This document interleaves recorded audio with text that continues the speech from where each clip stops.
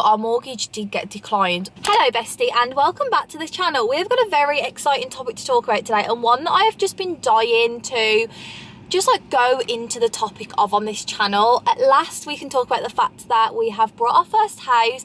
If you have like watched the vlogs and you've been keeping up then you'll know it's a huge project. It's our first house that we're going to be living in so there's a lot of work to do before we can move in but it's just been like I've learned so much from this whole experience and it seems like we've had such a unique experience and I do feel like when you are going into the house buying process as much as you can listen to like you, you, can never get enough information is what I'm trying to tell. Like everyone's situation and everyone's experience and journey is going to be so different. Like it, it's so different for everyone. But we had such a unique journey and I learned so much and I feel like I've like gained a lot of knowledge and I feel like if you guys are going into this journey for the first time or maybe just the second time or whatever or if it's like you know buying a house is such an achievement and it's really daunting. Like you you you don't get taught this at school. So if I can help you guys just you know, I've asked for your questions on Instagram and you've sent in so many and I've like gone through them all and sort of like grouped them and I've put like I've been working on this for a couple weeks. I didn't want to like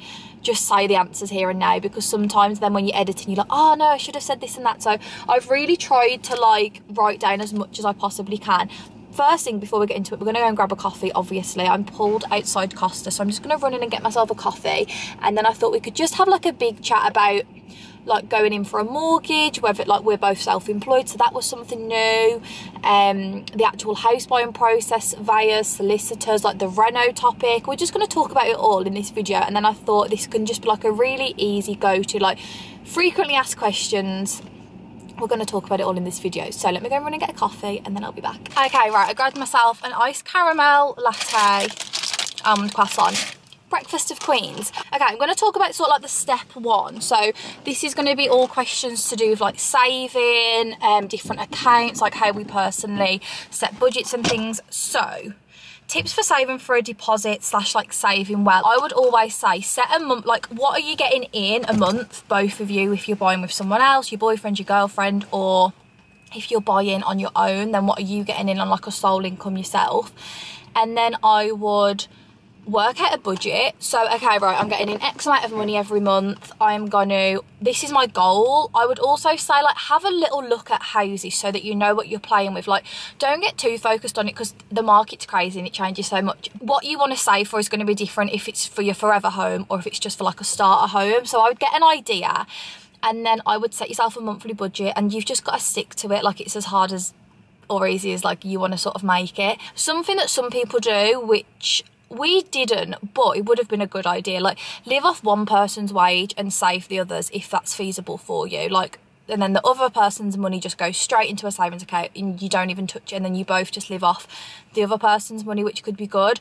And what I personally do is have a standing order. So every month no matter what a certain amount of money goes from my current account into a savings account. And I'm just going to keep that rolling because I do feel like it's nice to have that like saving security fund. And then I always knew no matter what a month whether there was money left at the end of the month that I could save on top of it that money was going to be saved. Did we both have ISAs? We did. However, this is me being completely transparent because I inherited my dad's house like you lose obviously the right to that because you've already got a property you only can get a like you can only get the benefit of a help to buy ISA if it's the first house in your name so if I would have brought a house before my dad passed away then yeah I would have got the extra 25% but we didn't um, so I still have the actual account and I still put money in it but I would never actually get like the the benefit which like I completely understand as to why. Good reno budget. I would honestly say it completely depends on the house and it also depends on whether you need to outsource the work or whether you can do a lot of the work yourselves. Like me and Ollie are just well Ollie mainly is going to do a lot of the work Oh, it, it, completely depends like do you need a new bathroom a new kitchen do you need everything new like we do or is it just like a little like reno? I think it really depends. It's so hard to say and it's also hard because if it's going to be like your forever home then you're gonna probably want like the best quality kitchen the best quality bathroom whereas like this isn't going to be our forever home so that's not like we're not going to be getting the best of the best. It's just like good quality gonna last but you know? Did we get a good price due to the work needed yeah, we did get a very good price for the house. Like that's just been completely transparent. It obviously has been really neglected. Like essentially the whole house needed to be gutted and redone and rebuilt. So yeah, we got a very good price and that's why we really stayed. I'll go into it a little bit more, but if you guys have watched the vlogs, you'll know it took us nearly a year to get the keys and we really stayed with the house because we could never find anything comparable. Right, sorry, I'm going to move on to the next topic, which is going to be more like about the actual, like looking for a house. I've tried to like group them together as much as possible. So if you guys ever want to revisit it, you can. So some must-haves that we looked for. I feel like we just really wanted a house that had potential. We we did have some must-haves. Like we really wanted what we thought we wanted. We didn't actually ever go uh, when we viewed it. We never actually liked it. Like we probably viewed upwards of like 30 houses and because well, we've been looking for so many long, like for so many years, like so long. Um, I don't know, you have to have a balance. Like your must-haves are must-haves for a reason. But I would also say, when you see the house that you want, it goes out the window. But I'd also say, don't ignore them. Like, don't be in like a, I'm just so desperate to find a house, so I'm just going to ignore my must-haves. Personally, for me, my must-haves were just going to be, like, I didn't want to have I didn't want to outgrow the house really quick. Like I wanted to have enough room. Like I liked the idea of having a dining room. Like that was one of the big things for me because I'm such like a, I'm such a cook and I'm such a let's get the family around and have dinner. So like a dining room was really important for me. Um, but then on the flip, we were like quite on having a drive and a garage. The house doesn't have one, but we just was like, you know what, we're gonna make the sacrifice because the rest of the house did meet our must-haves. I feel like it's definitely like a compromise and that's what it's really about. Like obviously between you as well, like if you are buying with someone else, it's a compromise. Like there's some houses that I loved and I was like, I want that house and Ollie would be like, I don't like it and vice versa. There was other houses that he would have been happy to buy and I was like, no, I don't really get the best vibe from that. Like I don't really want it. How many bedrooms does your house have? So it's a three bedrooms, which again, that was like quite an important thing for us because we knew that we would probably grow out of a two bedroomed house quite quickly. So I'm so glad that it's a three bed. It just gives us that space. Like, I'm not saying that we are going to have kids in the next two years, but if we do, like, we're going to have room to do that. And we're not going to feel like we've just outgrown it. What are your favourite property viewing websites? Okay, right, I've got two places for you to look at. Rightmove for actually searching for the house. I don't know why, Rightmove is just always where I personally looked. It's really easy. Get the app, go on it online and you can also set like alerts which is really good. And I would also say ring your local estate agents give them your criteria. So give them like a rough budget. You know it doesn't have to be exact because quite often houses will go for less or more than what they're up for. So give them a rough budget of what you're looking for in terms of location price whether you want a project or not how many bedrooms and then get them to put you on their list. And then whenever they get a house that meets that criteria they'll send you it. And then that's really useful too. And then what I personally then would do if I ever saw one that I liked I would then go on to Zoopla and then I would type in the postcode or the road name and I would find it on there and then I would look for what Zoopla actually um what's the word? Like not appraises that's American values. Sorry. I would then see what Zoopla values the house at. And then that's really interesting because you can see what houses in the local area went for. So if like for us obviously ours is a project we could look at how much the house is valued at on Zoopla. And then we could look at houses in the street that have sold within the last six months or year or two years or whatever. You can also see like how much the price has increased and decreased which is also really like good. So that I would say that that gives you like a good idea of the area and the potential. And like for us we would love to rent it out in the future so like that's really useful. It gives you an estimated rental income as well. So yeah I'd say Zoopla and Rightmove but also get on your local estate agents because that's like an underrated thing that no one really ever told me and it wasn't until I'd actually gone because some people I guess work with an estate agent so like they'll say I'm looking for this so I guess they would but I always did it myself so it wasn't until I was at a viewing one time and then we didn't like the house that someone said to me do you want us to put you on our list? And I was like, oh, I was like, you do that. So then I like said to all of them, like, would you please add me? Have you ever considered buying at auction? And funnily enough, the house that we brought was originally up for auction. I don't know whether I'd ever like go to the auction house. Like maybe in the future when I had like a bit more confidence in it and bit more experience, but I don't think I would ever buy from auction. Like, you know, when you just like go to the auction and you just like, yeah, yeah, like I don't think I'd ever do that. Maybe in the future, like like I said, like when we had a bit more like security and stuff. So yeah, I would, and I guess we did. But our house was up for auction, but then it was took off the auction, so we just brought it like normally. We didn't have to do any of that like non-refundable stuff. We just brought it as a normal house. Okay, any tips for first-time buyers? My biggest tip would be get a survey. Surveys are really good at bringing to light any hidden issues. You can get different levels. They do like a level one, which I don't really think is worth it. That's similar to like a mortgage um, valuation. Level two, it's a little bit more in depth. Level three, they literally go around the whole house.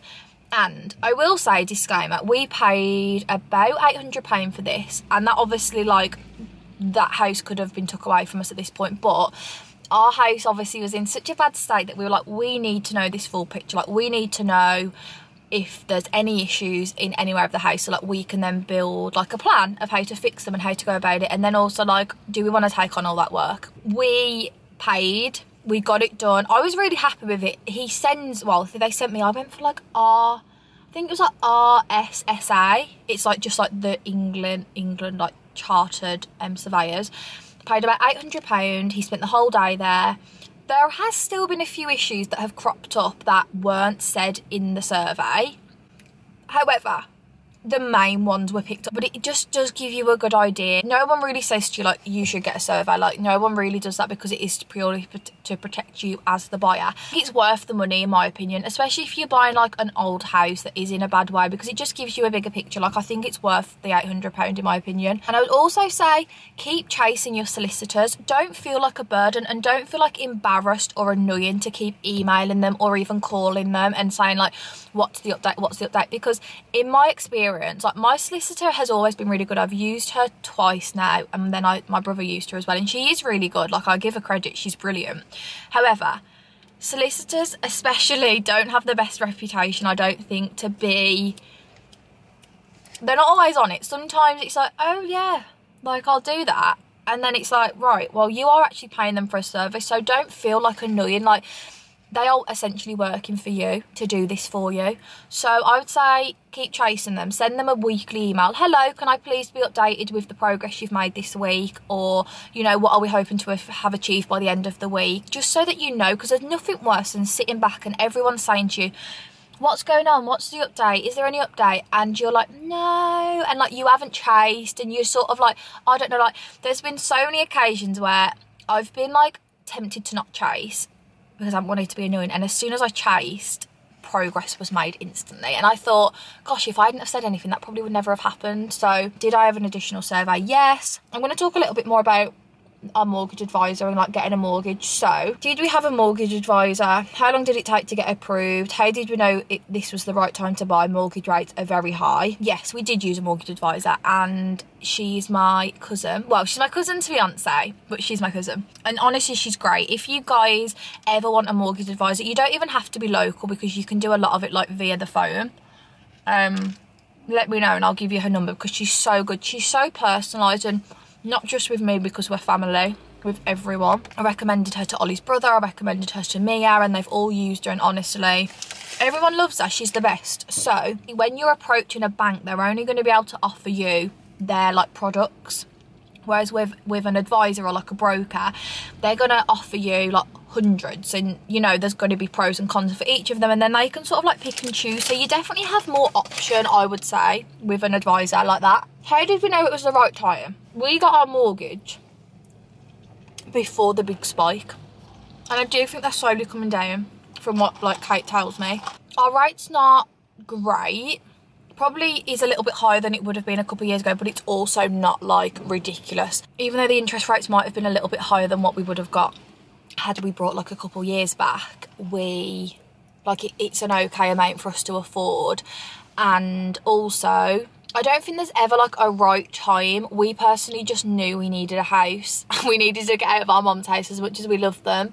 Like we just don't have enough space. We were ready for the next chapter. The buying process length and why did the process take so long for us?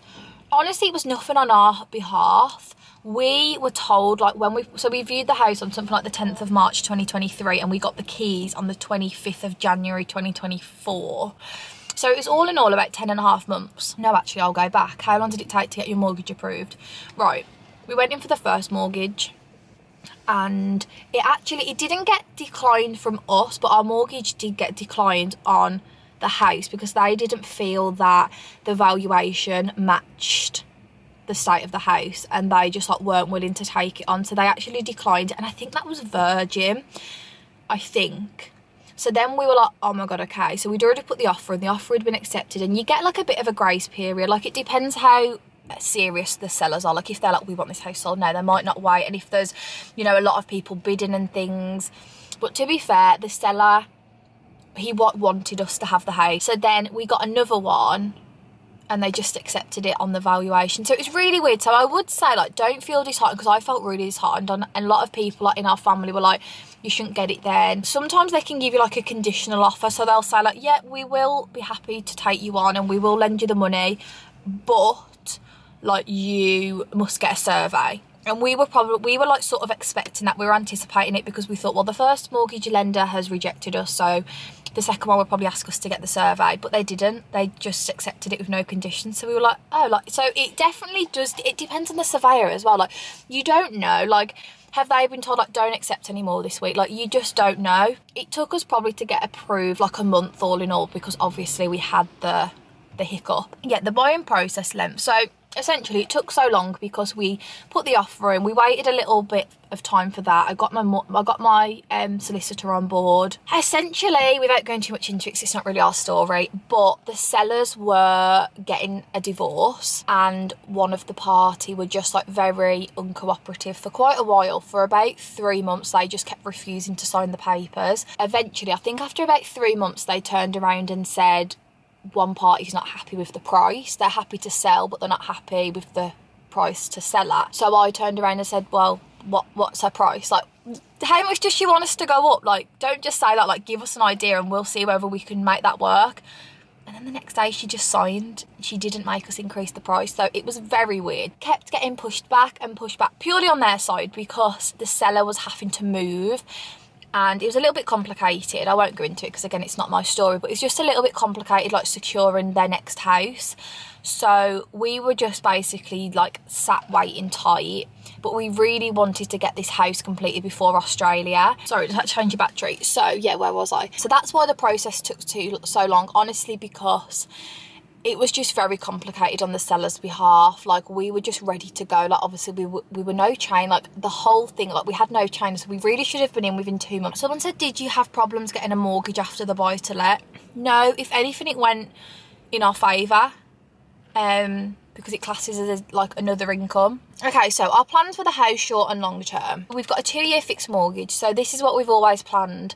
Two year fixed mortgage. Once that's up, we would then remortgage the property. Obviously, because we've put like money into it and we will have added value to the house. We would then withdraw our equity and we would then put that onto our next house and then we would rent that house out. Where we can, I would love to keep all of the houses we do. So that's our sort of like long term plan with it I guess but short term it's just going to be our first house for the next like couple years. Like it might be in two years.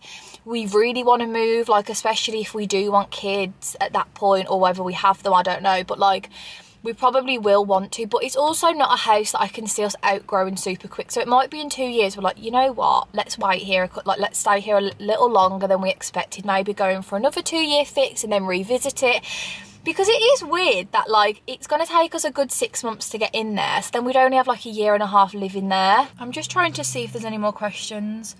Did you have a 10% deposit? We put down oh i'm trying to like 20% which is a little bit of a higher deposit but it was a smaller valued house. So put just to put that into perspective. I think it was about a 20% deposit. Longest part of the process, honestly, waiting around.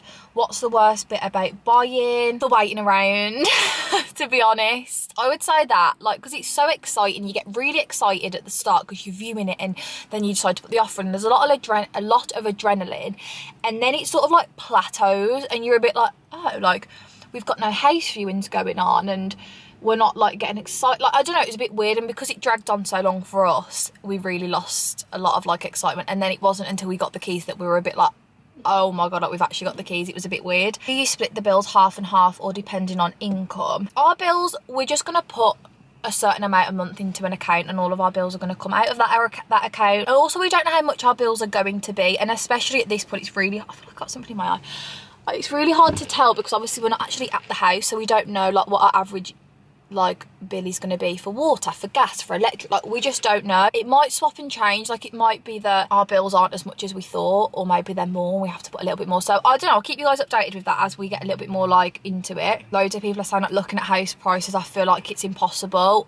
I know like house prices are crazy and we were just speaking to a man who lives in our street. He says, oh, I'm just staying there. He's called Dave. I brought the house down there in something like 1972 and we were like, oh, no way. And he's like, yeah, it only cost me £850. And I was like, what? And he's like, yeah, I had it in cash in my pocket and I just went and paid for it. And I was like, and I don't know what that compares to in today's money, but I was just like, it's so crazy. It is really hard, and we're definitely in a privileged position. Like, I know we're so young, we're 23. I would just say, like, look what you can take advantage of as first time buyers. Like, I know you get stamp duty, um, allowance, like, and you also like the help to buy ISAs so just look what's like there to take advantage of and I would just try and like help use that to help you like get to where you want to be. But i'm nearly at the end of my coffee. I feel like i answered pretty much everything. If there's any other questions that you guys want put them below but i'm just i'm scrolling through and I think that's about everything. And I hope this video did help any first time buyers or if you just like want to buy a house soon or whatever it is. I hope this video gave you a bit of information, a bit of knowledge. Hopefully I shared some of the lessons that I've learned. Thank you guys so much for watching. That was nice to have a little different chat on here, you know. It was nice. So I'll keep you guys updated with everything. Obviously there's going to be a little mini break in the renovation, property, all of that content while we go over to Australia. But as soon as we get back, it's just going to be the craziest like three, four months, however long it takes us to get in the house. So I love you guys so much. Thank you for sticking around. And I also have an Instagram where I'm like documenting this whole journey. I'll pop it here. It's just Jodie May Home. If you guys are like want to get that Reno fix, then head over to my Instagram page and you will get it from there. But I love you guys so much. Thank you again for watching. Please subscribe if you don't already. But I will see you with a huge weekly vlog in a couple of days. Love you guys. Bye.